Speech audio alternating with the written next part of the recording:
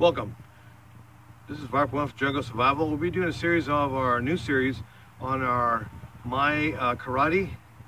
Uh, a lot of people don't know this, but I was affiliated with um, uh, Kenju. Started back in, I believe, 74 to about five, six years after that. Uh, and uh, I got out at that point and uh, started decided to do start to Zelf for exercise. So now I'm going to try to just do some uh, affiliated katas and and, and, and things that uh, the moves of, of the style. I'm affiliated with Kenju, which is Kempokan Karate and Kodokan Judo by, by Sensei Kirk uh, Ellis.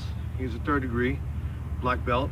And uh, uh, we're, we're a traditional martial art we focus on a lot of philosophy and things that nature, which a lot of studios uh, studios don't teach.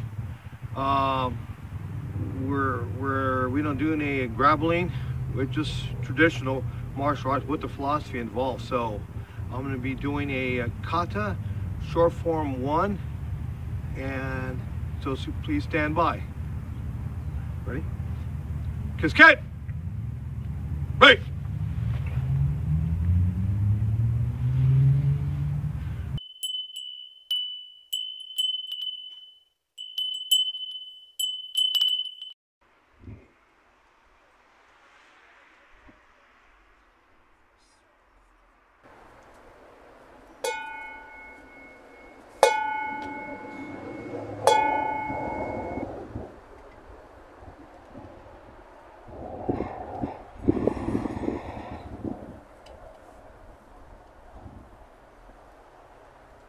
Forming short form kata one.